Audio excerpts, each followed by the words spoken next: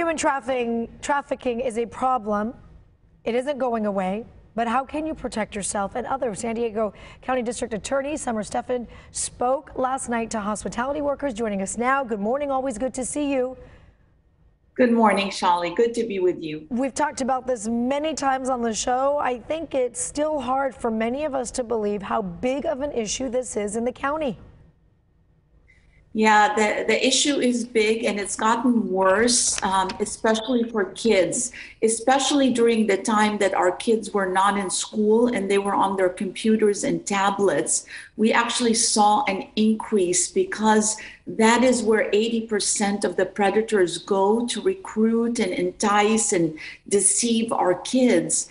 And so our human trafficking task force was working double time to protect kids from human trafficking and from these fake uh, recruitment, false advertising, everything that uh, the online social media can be used for. But last night was really a big glimmer of hope because we were able to educate hundreds of hospitality, hotels, motels, restaurants, and airport uh, workers and professionals so they can spot the signs. Who's most uh, at risk?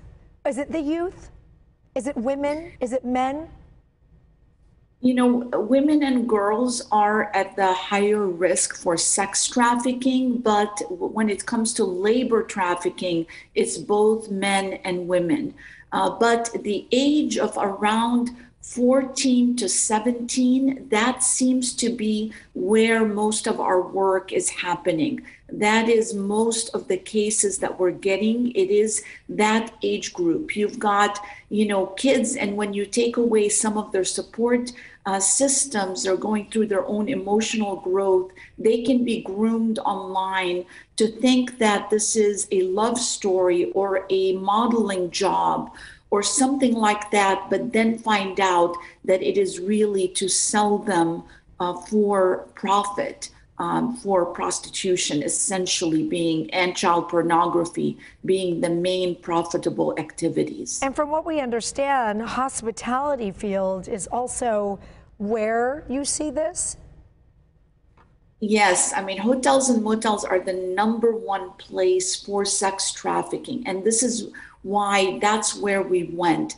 A law passed that we uh, were very excited about that requires a certain amount of training for housekeeping, for clerks, for security at hotels and motels. So we were able to work with the San Diego Harbor Foundation and a really photojournalist, a producer that's amazing to produce six 20 minute um, segments that are specific to each one of those jobs that both meet the legal requirement but really provide uh, hundreds more of eyes and ears to help law enforcement spot this activity and help rescue victims. Is that what the training is about for these hospitality workers? That's exactly right. We don't want them to intervene. We want them to report. But lots of times, this is the issue we we really want to bring out. It doesn't look the way people think it's going to look. They're not going to see somebody in chains or with very visible bruising. They have to look for the subtle signs. They've got to look for somebody that looks mismatched, a minor with an adult uh, somebody dressed different than the person who's with them. They're not dressed correctly for the conditions. The adult is always speaking for them. So when you're asking for their identification or their information, they're looking away. They are not responding in any way. For room service, seeing lots of condoms, uh, too many towels, different signs to show that something is going on out of the normal.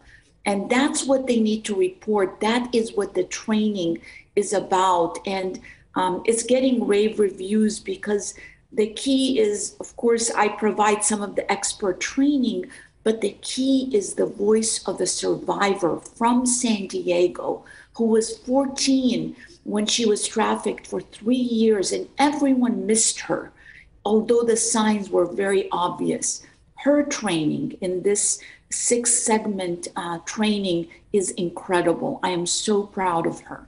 Well, San Diego County District Attorney Summer Stephan, we always appreciate your time here. Thank you. Thank you so much.